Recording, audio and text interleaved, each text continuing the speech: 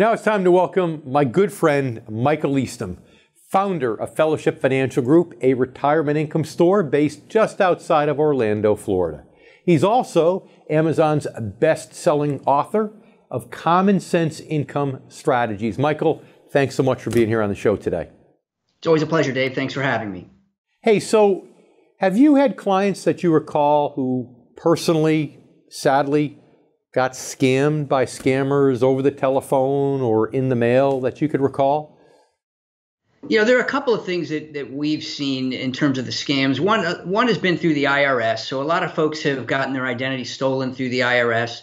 So as a result, you know, they end up having to file paper um, instead of doing electronically.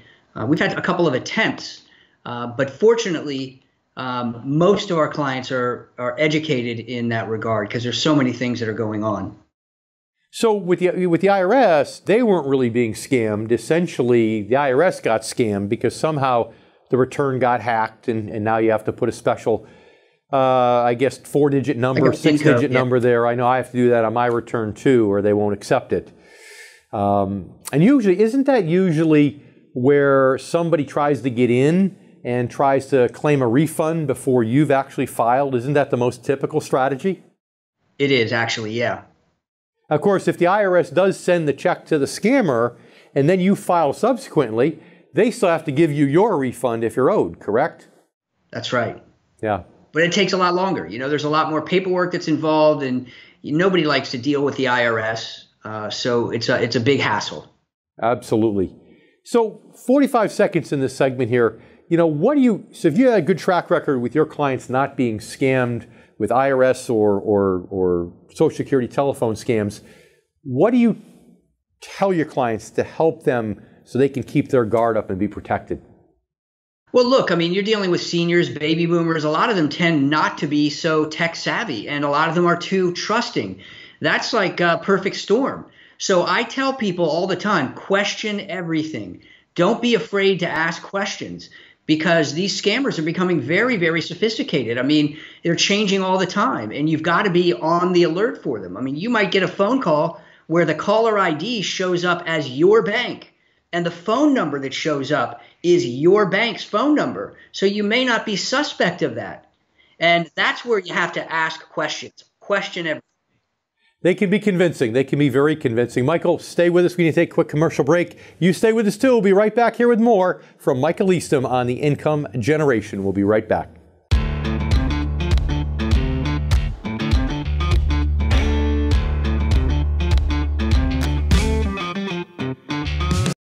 Welcome back to the Income Generation. I'm here with my good friend, Michael Eastham, Amazon best-selling author and founder of Fellowship Financial Group, a retirement income store located just outside of Orlando, Florida. Michael, thanks for sticking around. My pleasure, Dave. So, what do you think? Uh, we were talking about a little bit before the break, and we had to close up really quick for the commercial. But what do you think really is it uh, personally, emotionally within someone that I know you said trusting, um, but that allows them potentially to be victimized by some of these scammers? Well, I think I think what hap- what has to happen is they do need to to question everything. Don't just because you think something seems secure, that doesn't necessarily mean it's secure. So, especially if you're getting online and doing transactions, well, you need to make sure that if you have to have a password, it's a fairly complex password that can't be hacked that easily.